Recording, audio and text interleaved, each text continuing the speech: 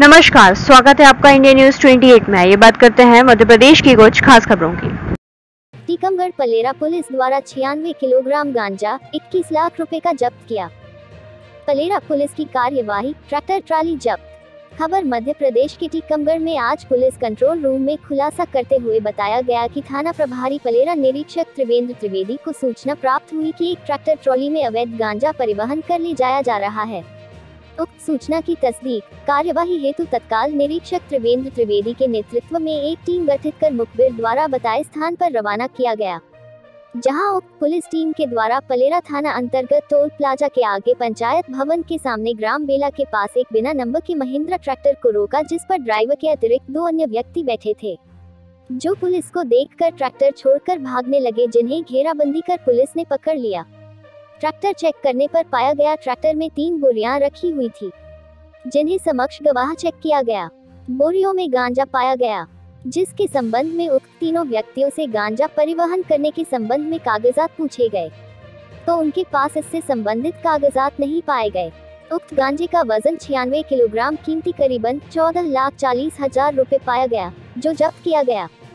साथ ही एक महिंद्रा ट्रैक्टर बिना नंबर का ट्राली सहित कीमती करीबन पाँच लाख तीस हज़ार रूपए तथा तीन मोबाइल जब्त किए गए कुल मशरूका लगभग इक्कीस लाख रूपए का जब्त किया गया।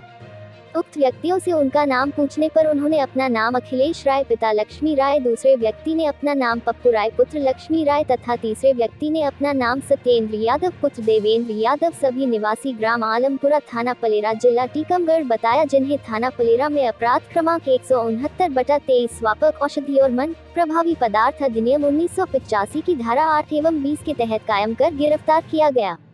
उक्त टीम को पुलिस अधीक्षक टीकमगढ़ द्वारा पुरस्कृत किए जाने की घोषणा की है। आइए जानते हैं रोहित काशवानी पुलिस अधीक्षक ने क्या कहा। सागर डिवीज़न हेड गजेंद्र साहू की रिपोर्ट। महोदय और पुलिस महानिदेशक महोदय का हमेशा एक मार्गदर्शन रहा है और उनका स्ट्रिक्ट पॉइंट है कि कोई भी अवैध गतिविधि हो तो उसके विरुद्ध सख्त कार्रवाई की जाए। इसी को दृष्टिगत रखते हुए आज पलेरा पुलिस ने एक अच्छी कार्रवाई की है, जिसमें हमारे एडिशनल एसपी साहब और डीएसपी साहब के मार्गदर्शन में थाना प्रभारी पलेरा ने छिन्नवे किलोग्राम गांजा पकड़ा है और इसमें यह कल रात को सूचना पर ग्राम बेला के पास पकड़ा गया है। इसमें एक ट्रैक्टर ट्रॉली भी मिली है और तीन मोबाइल। इस प्रकार कुल 21 लाख का मशरू का बरामद हुआ है और आठ बटे एन का अपराध पंजीबद्ध कर आरोपियों को मान्य न्यायालय के समक्ष पेश किया जा रहा है। इसमें पूरी पलेरा टीम का सराहनीय योगदान रहा है सभी को मैं बधाई देता हूँ और इनको पुरस्कृत भी किया जाएगा। अच्छा सर इन लोगों के पास जो गांजा मिला हुआ है तो क्या लगा इन लोगों को पहले से ही धंधा करते थे कि पहली बार? इसमें अभी हमारे ज़िले में तो इतनी बड़ी क्वांटिटी अभी पिछले कई सालों में तो पहली बार पकड़ी गई है और इनसे अभी पूछताछ की जाएगी कि ये कहाँ से आ रहा था कहाँ ले जा रहे थे सारी और चेन के संबंध में आगे पुलिस रिमांड लेकर पूछताछ की जाएगी। सर आरोपी कहाँ के रहने वाले हैं?